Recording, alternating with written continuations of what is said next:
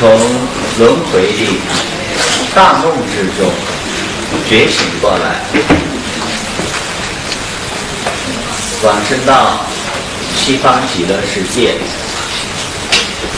因此呢，我们呃有缘啊，能够诸上善人聚会一处，呃，共同来探讨佛法。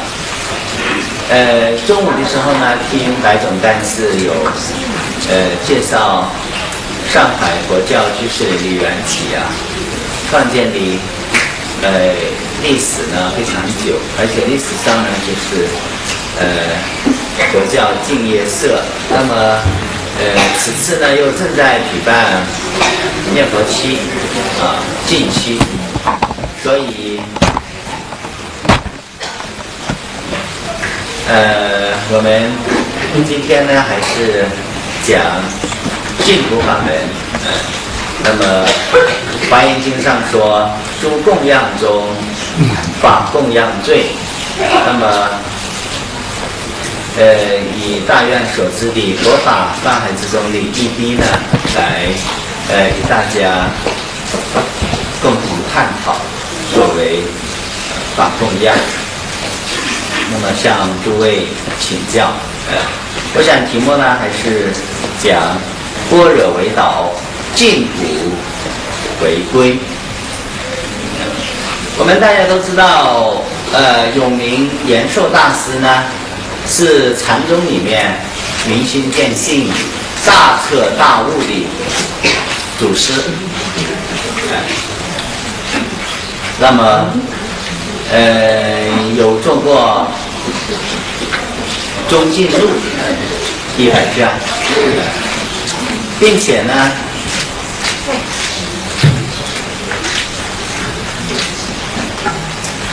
呃，并且呢，又呃，有啊，在倡导呢净土念佛法门，呃，我们都知道。有名延寿大师的《禅净寺料简》呢，啊，无禅有净土，万修万人去，但得见弥陀，何愁不开悟？有禅有净土，犹如带脚虎，嗯，现世做人师，来生做佛祖。那我们都知道净土法门是万修万人去的法门呀，但是到了当下，到了现在呢，像净土法师所说的，我们一万个人念佛呢，能够往生到真正超出轮回，能够往生到西方极乐世界的人，大概只有一万人之中只有两三个人而已。那为什么大部分的人，绝大部分的人为什么难有真正到？西方极乐世界呢，主要还是因没有真正的啊把握般若为导，净土回归。虽然是口念阿弥陀佛，但是内心呢还是妄念纷飞。所以我们怎样子才能够万修万人去呢？这个是我们呃今天。跟大家一起探讨和分享的主题，哎，净土中的中国净土中的十一祖啊，彻悟梦东禅师有过一段精辟的开示，说释迦如来说法四十九年，谈经三百余会，所说八万四千法门。一言以蔽之，不出悟修二门。物门以明心为要，修门以静心为要。明心之法，不过于念佛。大佛林首能言经，大势至菩萨念佛圆通章上面说呢：若人忆佛念佛，现前当来必定见佛。不假方便，自得心开。如染香人，身有香气，是则名曰香光庄严。静心之法，亦无过于念佛。古德云：清珠下于浊水。浊水不得不清，佛号投入乱心，乱心不得不佛。那么，其实梦中禅师这一段开示呢，其实就告诉我们，释迦牟尼佛说法四十九年呀，无量法门呢，其实归纳起来就是两类：悟门和修门。或者呢，我们从教下来说，也就是啊，信解行证。或者说呢，教理行果，那么解门就是悟门，行门呢就是修门。那么悟门以明心为要啊，就是呢，我们啊要成就就。见地上要透彻，要能够呢开佛之见，开示悟入佛之之见，哎，就成就一颗明白的心。整个的佛法都是围绕转迷成悟来展开的。如何让我们将这颗无量劫以来流转生死迷昧的心呢，让它能够大彻大悟？这个是。建立上的啊悟门，行持上的呢就是修门，成就清净心。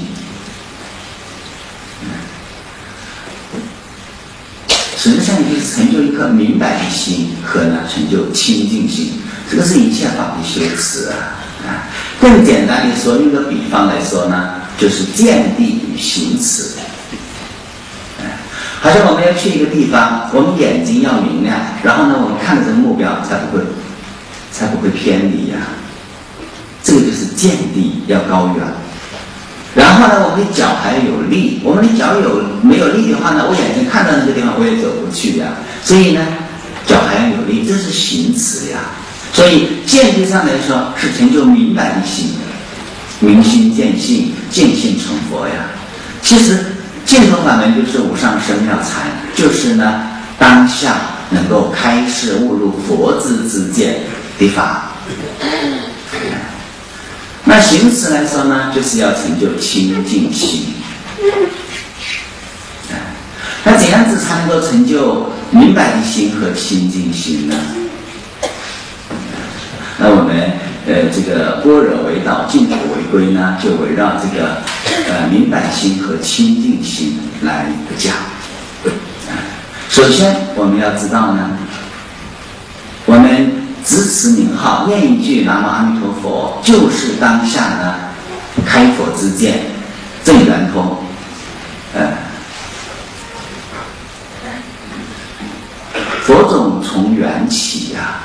啊，我们人人皆有如来智慧德相，哎，皆有佛性，皆可成佛。但是因为无量劫以来，这个无名的杂染非常重，所以呢，我们呃要有一个好的、强有力的真上缘，才能够让我们本有的佛性种子呢，能够开显出来，能够出轮回，能够成佛。哎那么阿弥陀佛，他无量劫地因地的修持，哎，就以他所证得的五分法身香，以他果地的五分法身香和般若智慧光呢，凝聚在浓缩在一句阿弥陀佛这个万德洪名里面。你这个作为一个强有力的真善缘来开显我们的佛性，作为一切众生呢当下念佛成佛的殊胜的真善缘，来引发我们的本具的如来智慧德相。所以，我们只此一句南无阿弥陀佛呢，就是当下引发我们自信本具里五分法身香和般若智慧光。哎，我们知道一切色法要成就呢，需要清因缘和真善缘。哎，好像一颗黄豆。它要发芽，它要结果。这个豆呢，它本身要要是好的，没有坏，哎，没有煮熟，哎，要有生命力。这个是清因缘。还有呢，要有肥沃的土壤，要有阳光、水分，然后呢，它能够发芽、成长、开花、结果。哎，那心法要成就呢，需要。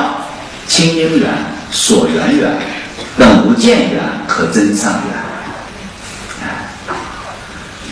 那么，我们只此一句南无阿弥陀佛呢，就是殊胜的真善缘，能够激发我们本具如来智慧德相这个清净缘，啊，以及我们呢求生西方极乐世界这个所缘缘，啊，我们念念。执持不断呢，这个就是等无间缘，哎，所以啊，所以说呢，佛种从缘起啊，我们念一句南无阿弥陀佛，就是当下呢，以真如熏无明，无明纷纷断，真如纷纷显，然后呢，当下成佛道了。所以这个是啊非常殊胜的呢入门之法，成就明白心的法。这种法门啊非常殊胜，呃不是虚言呐啊。那个正如印光法师开示的：是心作佛，是心是佛。哎，直指人心者，犹当训其其特。所以啊，净土法门就是无上深妙禅。哎，我们只此一句南无阿弥陀佛呢，就是开佛之见，正圆通。哎，当下念佛成佛。哎，所以古德有赞叹说呀：“蜗牛找到，那个呃，蜗牛角上真合适，实火光中寄此身。”随富随贫，且随喜，不开口笑是痴人。哎，要对这个世间的呃财色名食睡呢，不要去争夺了啊！不要去争那些领土为利，而要能够真正的呢念佛成佛。哎，这个是说啊，对，念阿弥陀佛就是当下开佛之见。什么是开佛之见呢？怎样子来开佛之见呢？《妙法莲华经》上，释迦如来呢，有说，如来出世的大事因缘呀，就是令一切众生开示悟入佛之之见。怎样子把凡夫的之见转为佛的之见呢？佛的之见是什么呢？凡夫的之见又是什么呢？其实，佛的之见呀。就是要转凡夫的大脑思维为圣者的灵性生命思维。凡夫的大脑思维是什么特性呀？就是运用过去心理记忆和解读。圣者的灵性思维呢？灵性生命思维呢？就是觉照和欣赏。打个比方，我们有看到眼前的这个康乃馨花，大家有看到这个花吗？我们说啊，我们看到了，但是你其实是真正的看到了吗？没有看到。凡夫众生他没有真正的当下，没有不能够真正当下看到眼前的人事物，他只是认识，不是真正的看到。为什么呢？因为我们看一个东西的时候呀，我们总有二元对立。比方说，我们看到花，然后我们就会调动过去所学的记忆，过去所学的植物学的知识，然后来解读它，来比较它，来判断它。哦，运用过去的这个记忆力来解读，说哦，哦，这个花呢，它是什么颜色？有黄色，有粉红色。然后这个花的名字呢叫康乃馨，哎，等等。这个样子有什么有什么错误呀？因为这个样子的话呢，一个有二元对立，有二元对立就有生死轮回呀。哎，我和外在的这个花是分离的，是对立的，人和境是对立的状态，这个是凡夫之见呀。而且有过去心和当下事物的距离，我总用过去心累积的知识来解读它。来判断它，然后给它贴一个标签，这个叫什么花？这个这个花本来是活的呀，它每一分每一秒每一刹那都在呼吸呀，哎，是活力呀。那我自己呢，也是活力呀。这我我们真心的觉照，它是不断不断的在觉察呀，这个生命的活力不断的涌现出来呀。但是。当我去给它贴一个标签的时候，当下呢，我就把它看成一个静止的了。本来它是动态的，我把它看成静态的；本来它是活的，我呢，把它看成死的。哎，而且来说，我自己的本具的智慧呢，也就转为转为知识了，转为用过去性的知识了。所以这个是凡夫之见呀，啊。佛的之见是圆满的，不断的涌现生命的活力，哎，有无穷无尽的智慧涌现出来，哎，一个活的我，真面对一个活的花，然后呢，当下融为一体，因为花也是无量因缘成就，我也是无量因缘成就，我用我的真心去看这个花的时候，不给它贴任何标签的时候呢，就当下。跟尘相接的时候呢，就因缘成组，因缘重组呢，就产生心理生命，就是灵性智慧命啊。这个灵性智慧命呢，就是纪念他佛，成我自佛，就是六祖大师所说的弟子心中常生智慧。哎，所以佛法呢，它不是知识层面的，而是智慧层面的。哎。所以我们要能够开示悟入佛子之见呀，就要打破凡夫的知见的局限性。哎，这个是啊第一重。第二重呢，我们念阿弥陀佛修净土，就是当下呢成就般若呀。我们所念的阿弥陀佛，我们所愿生的西方极乐世界。都是实相般若，我们能够念阿弥陀佛的心呢，就是光照般若呀。你光照般若来照实相般若，哎，你死觉来念本觉，就能够成就究竟觉呀。所以自心作佛是光照般若，哎，我们持续不断的念阿弥陀佛。就是我们的心在做佛，哎，因为啊，自佛以下呢，九法界众生心体不能离念呐，不念四圣法界，便念六凡法界；不念人天法界呢，就念地狱恶鬼畜生的法界。所以，我们念阿弥陀佛呢，支持名号呢，就是当下呢。入佛法界，就是呢，当下呢，心在做佛，哎，这个是观照般若呀。自心是佛呢，就是实相般若呀。自心做佛是啊修德，自心是佛呢是信德，哎。四心作佛呢，呃是始觉；四心是佛呢是本觉。以始觉来念本觉呢，就能够成就啊究竟觉。这个是我们呃要成就明白心呐，要成就一颗明白的心呐啊，修持的方法啊，这个是悟门以明心为要啊啊。那么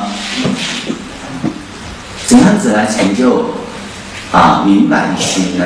啊，怎样子来呃真正的能够通过念阿弥陀佛而明心见性呢？嗯，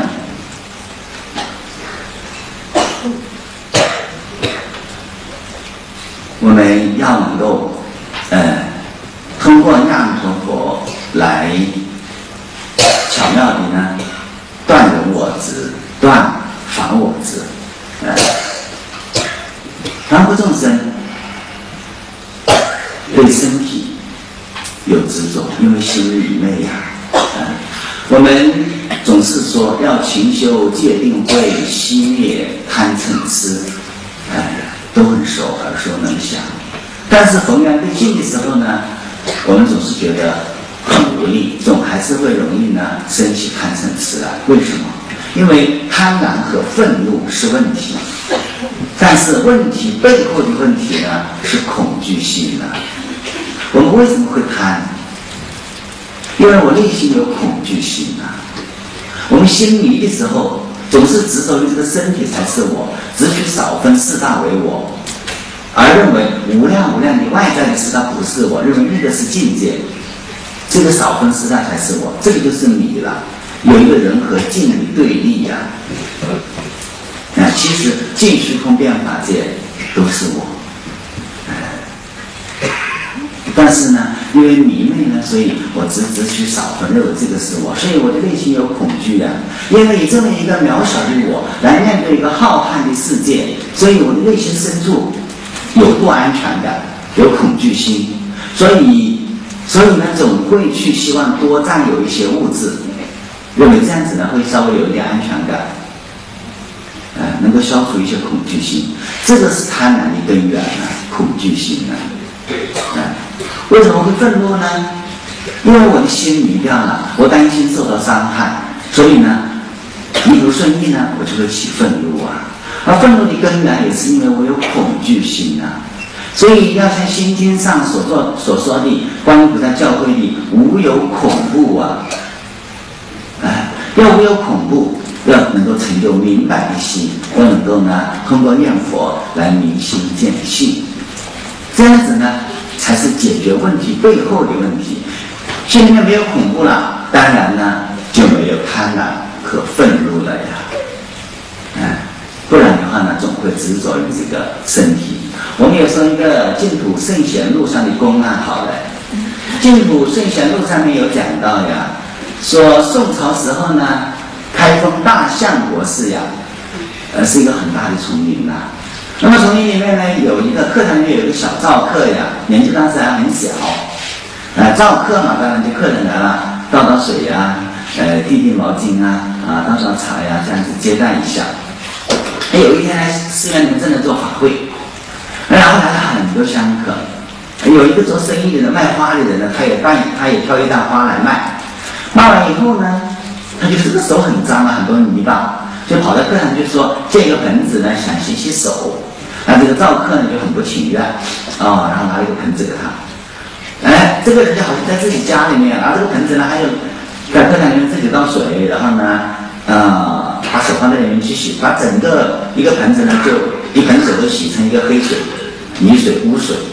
哎，然后呢他又拿他又。啊，不问自取啊，没有经过赵客，他自己呢又拿了那个新毛巾拿来擦手，把那个毛巾擦得黑黑的。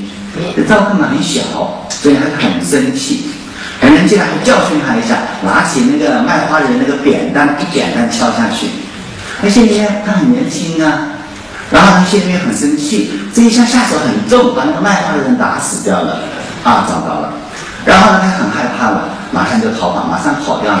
他离开开封大相国寺呢，一直跑到山西五台山，呃，隐藏在那里呢就休息。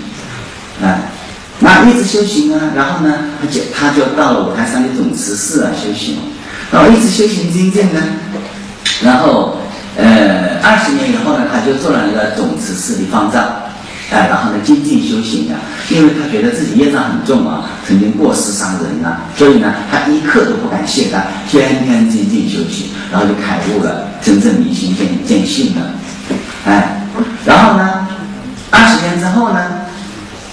他就有一天呢，突然就吩咐那个吩咐那个禅堂里面说：“今天名追集众要上堂上堂说法呀。”哎，那维多觉得很奇怪，哎，说大和尚啊，今天没有谁来请法呀，你老爷为什么要名追集众啊，要上堂说法呢？那么这个方丈说：“呃，今天啊，请大众来看老僧呢了却一段二十年前的公案。”哎。大众集合以后呢，突然就有一个士兵闯进来。当时那个宋朝的大将啊，张俊，他的部队呢就驻扎在五台山。然后刚好呢，其中有一部分的军队呢就来游览五台山。那有一个士兵很奇怪，无缘无故呢就闯到这个法堂来了，而他从来没有见过这个方丈，没有见过这个住持。但是很奇怪呢，他一看到这个住持呢，他就弯弓搭箭，说要把这个人杀死掉。哎。那这个住持呢，就坐在那个法座上，哦，请你射我。哎，这个士兵听了大吃一惊，觉得很奇怪了。嗯，本来想本来想射死他，这么一说以后，他反而就犹豫了。然后呢，他就来问，马上呢，他就来问说：“老和尚啊，为什么我们从来没有见过面？因为那个士兵才十八岁左右了。”说为什么我们从来没有见过面？但是我一看到你我就生气，我就想杀死你了，很奇怪。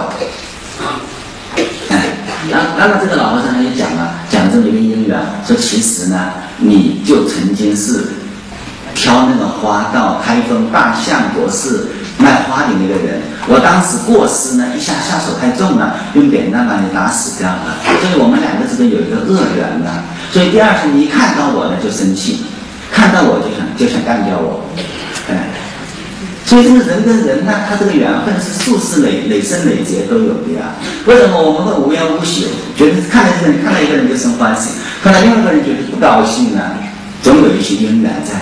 这个世间没有无缘无故的事情，不过是因为我们还在迷的状态，我们不能够通达三世因果，所以我们不明白。啊，所以这个世间其实没有所谓的飞来横祸，没有这样子的。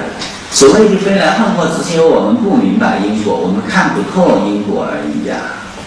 哎，那么这样子说了以后的话呢，哦，这个士兵恍然大悟，原来我们两个是前生有这么一个冤仇。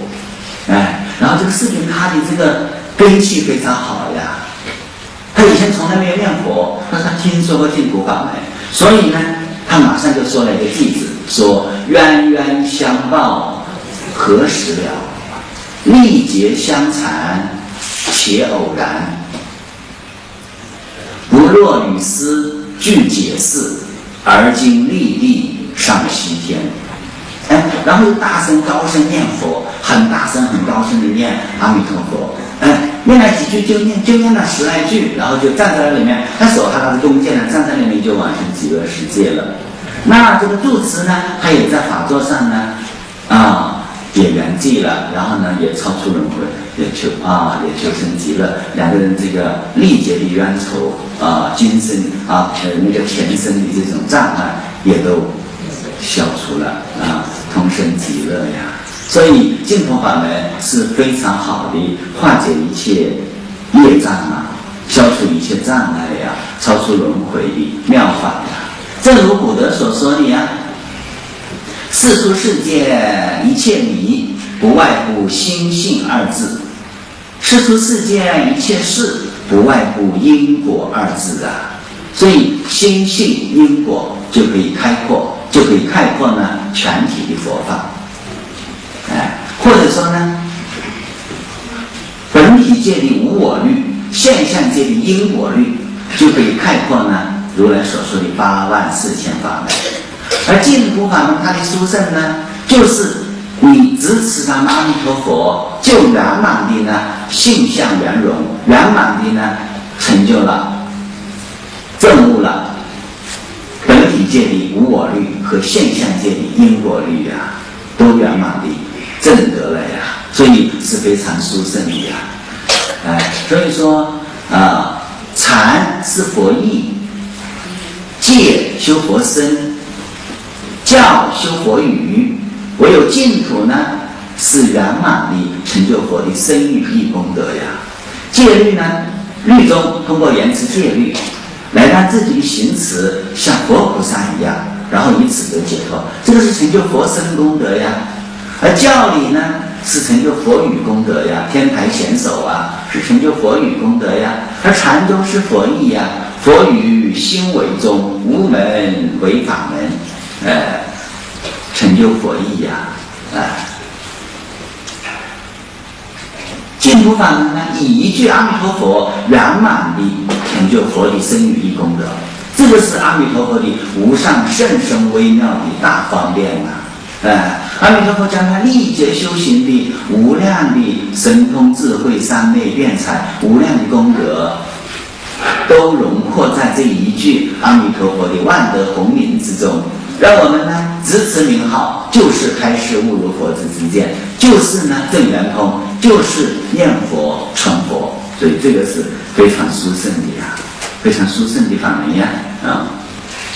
然后呢，就是要能够啊断法我执，言归净土法门，巧妙地来断法我执呀，呃，能够呢以净土法门以修持来转业力为愿力呀。你看那个那个卖花人，后来转变为啊一个士兵，他就就十念阿弥陀佛，但是他愿力很强呀，他真正的愿力轮回，然后愿求生极乐世界的这个愿力很强啊，所以呢，一刹那之中就能够当下呢往生极乐世界，哎，那么我们啊要能够。放下凡夫的啊种种知见，放下凡夫的种种执着、种种情执，来超出轮回，也能够以净土法门来成就呀。我们也说一些公案好了。我们在韩国交流参访的时候呀，韩国有一个禅宗的寺院叫福石寺，哎，这里面有一个很很奇妙的一个因缘呀。呃，中国大唐时候呢。当时的韩国还是处在一个分裂状态，哎，那个其中有一部分呢，就新罗国，就相相当于现在的韩国了，嗯，那么新罗国的一位高僧呢，叫义香法师，他就航海来到大唐来求法，很奇怪，他来到以后没有多久呢，他就认识一个中国的一个一个女子呀，就是善妙，那这个善妙呢，一看到这个义香法师呢，他就哦一见钟情啊，一直。一直在追求他，啊，一想法师呢，道心坚固啊，一直如如不动，啊，很勤奋呢在，啊，在修持，呃，学习。当时学的是显手宗，他跟随中国显手宗的那个祖师学习。一想法师呀，跟我们啊那个中国显手宗的那个四祖啊是同学，啊，同学，那么。呃，经过了十年时间呢，把所有的选手中的教义呀都通达了。而这个上庙呢，他很执着，他十年之中也没有嫁人，一直就在等待这个一香法师。哎，那情执很重。哎，那十年以后学完了，然后呢，这个一香法师就准备航海回国了。那这个上庙呢，就要求跟一香法师一起去，那当然法师就不同意了。不同意的后，法师这个船开走了。那这个上庙呢，他就也是很刚烈的一个人，然后呢，就马上就跳海死掉了。跳海死掉以后呢，转身为龙啊，转身做一条龙。转身做一条龙的时候啊，他心里面明白过来了，说啊，我呢，其实原来是很执着。哎，但是我就是就是得到他这个人又怎么样呢？我不能够明白他的心呢，所以现在我堕落了，我要忏悔，而且呢，我要把把凡夫的情感要升华为圣者的慈悲，要能够呢护持法师，弘扬正法，然后呢帮助无量的众生得解脱。哎，凡夫众生呀，他总是啊，总是容易有种种的执着，而因为执着呢，所以他的见解是很片面的。打个比方，那夫妻之间相处呀，也容易有矛盾。那中国有句古话叫做“不是冤家不聚头”啊，啊，就容易产生隔阂。为什么呢？因为打个比方啊，你看到你的先生，或者先生看到自己的太太有某一个行为，然后呢，他就会调动过去心所累积的对他的印象来解读他现在的行为，其实问题就产生了。啊，为什么？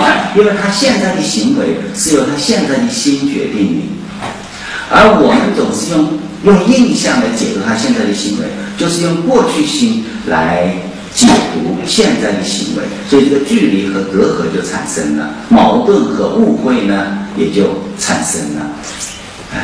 所以佛陀说呀，能够真正的明白自己的心，这个是智慧呀。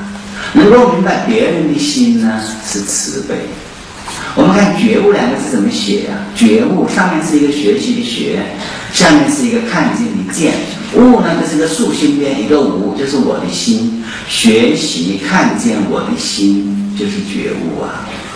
哎，这个是真正的觉悟，明白自己的心呢。《大日经》呢，是唐立的根本要点精华，上面就说呢。大日经的理论核心就是如实之自心，如实之自心啊！我们要能够明白，要能够如实之自心，就是一颗明白的心，就是一颗觉悟的心呢。哎，而能够真正进入别人的心，明白别人的心呢，才是真正的慈悲呀！为什么？因为真正的能够进入别人的心，是不少用成见，不用过去的成见。而要用当下的心去感知对方的心，这个样子呢是没有用成见的，而用生命的活力呀，啊，没有任何的执着呀，啊，这个样子呢是真正的慈悲。那这个上药呢，也就觉悟过来了。哎，他转生为龙以后呢，他就觉悟过来了，就觉得我就是得到这个人也没有用啊，我不了解他的心呐，不明白他的心呐。现在我要努力明白他的心，要能够呢，以佛心为己心，心同佛心，愿同佛愿，行同佛行，要能够护持法师呢，弘法。那然后呢，这个一香法师归国以后呢，他就准备建一个道场来来弘法。他当时，当时呢，周围的人都不信佛，所以这个寺院在建的时候，白天建啊，晚上呢，周围的老百姓就把它拆掉，把东西拿开，拿跑掉。白天建，晚上拆，白天建，晚上拆，搞来搞去就建不成。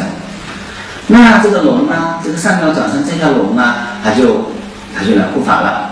哎，那有一天这个老百姓准备来来拆这个寺院的时候呢，这个龙啊，他就用用神通就把那个一块大石头。把它举起来，举到空中来，大家很奇怪，说啊，这个法师很有修行啊，这个大石头，这个没有人抬他，他这么就这么飘起来，飘到空中，十个人都抬不起来，很奇怪的，吓得都跑掉了。跑掉以后呢，又在又在建，然后呢，那些人不死心，第二次又来又来搞破坏，然后这个龙又把这个石头又让它漂浮起来，这样搞了三次呀。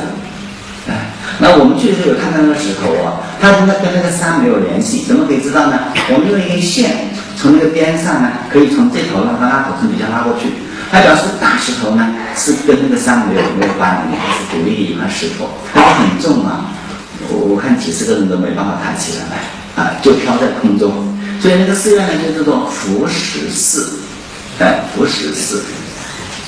漂浮的石头，一块石头漂浮在空中的寺院。那么后来呢，这个一香祖师呀涅槃以后呢，曾经有一段时间呀，这个寺院后来也就也就门庭冷落了，因为没有大德出世嘛。哎，那后来呢，就有有法师提议说，我们一定要有护法护持呀，所以就在寺院的后山就造了一个小小的阁，那个阁里面呢，就有一个上庙，堂上那个上庙的一个像，挂在那个。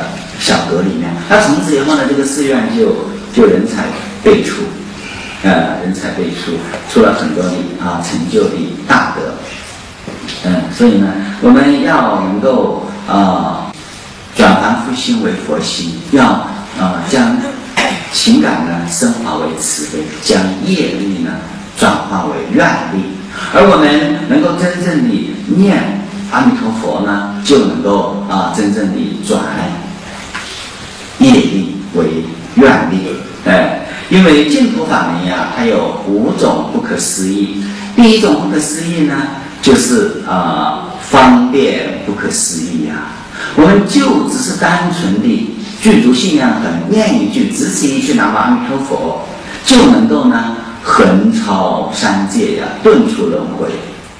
只需要福祸，不需要断祸，都能够超出轮回呀。哎，这个是善巧方便不可思议呀。第二个呢，就是正果不可思议，其他无量的佛净土呢，都难以做到的。难以做到什么？难以做到一生一切身呐。我们哪怕升到这个凡圣同居净土，上三土呢，都能够圆满具足啊。上面的方便有余净土、十报庄严净土、常寂光净土，就能够圆满具足啊，一生一切身呐。语文殊普贤。啊，观音四字为伴侣啊，这个是不可思议的地方，一生一切身啊，正果不可思议啊。第啊第三个呢是方法不可思议，这个是十方无量诸佛的法门都难以相比的呀。为什么？方法呢很简单。你只要念一句阿弥陀佛就好了，人人可修，人人可成，人人可证，人人可出轮回呀。其他法门我们都有很多条件，都啊才能够成就。而净土法门呢，啊持名念佛呢，最简洁、最圆顿呐，自圆自顿，不可思议之法呀，哎，最极方便呐，呃，正如经上所说的啊。菩提心为因，大悲为根，方便为究竟呐。呃，法门要方便，才能够三根普被呀。呃，所以但持名号呢，顿出轮回。所以这个是方法不可思议呀。而且一切等觉大事都啊离不开这个法门呀。呃。他的物理境界非常高了，他呢也以这个作为最之方便啊来度众生。呃，那么像《圆觉经》上所说的呀，知识空花，既无轮转，亦无身心，受彼生死，知幻即离，不假方便；离幻即觉，亦无见次。知识空花，既无轮转呢？我们念一句阿弥陀佛，我们就能够当下真正的啊看破放下，能够呢呃参透世间的一切种种的因缘，都是空花相啊啊！正如憨山德清大师啊所说的啊，他有一次从定而起啊，做了一个句子呃：世界光如水月，身心娇若琉璃。但见冰消见底，不知春上花枝。哎，描述他的这种呃正悟的境界呀啊。那我们呃从永永明延寿禅师开始呀，后来净土中的历代的祖师啊，都是先在禅门里面大彻大悟，后来归心净土。正如正如元朝时候的天如禅师在《净土或问》上面所说的呀，呃，证悟以后呢，不归心净土，不念佛呢，他那个不是大彻大悟啊。